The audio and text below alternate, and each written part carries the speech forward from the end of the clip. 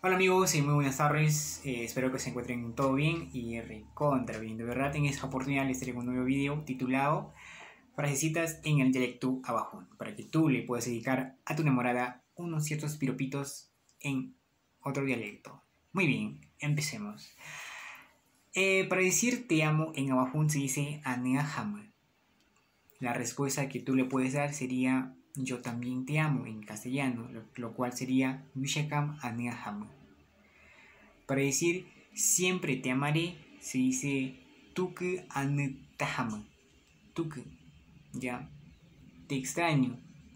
Hikamaham. Hikamaham es te extraño en Navajún. Ya.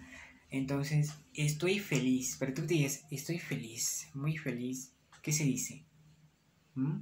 Se dice Shin aneahai, quiere decir estoy feliz, ya estoy feliz. Otro, para decir amor, ¿puedes sonreír? Dushinta. Sonrío, yo sonrío, es sonrío, es dushiahai. Para decir eh, sonrían todos, o sea, en general, sonrían. Dushintahu, es sonrían. Eh, por favor, la palabra por favor siempre se utiliza en una relación también. Cuando pides disculpas, por favor, sí, por favor, ya. Entonces, eso se dice wei aneasan. Para decir gracias, se dice sí, ya. Solamente gracias, sí. Muchas gracias es sí, guaya. Es diferente. Ya, eso tenemos que saberlo.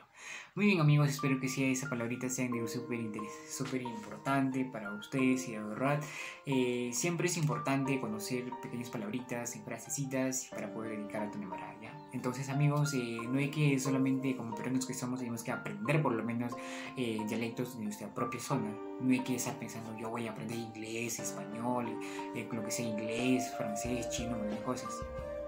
¿Ya? Está bien que estamos en un mundo globalizado, un mundo moderno, que, pocas veces los, o los dialectos de, nuestra propia zona no son tan interesantes prácticamente, no, no, practicamos.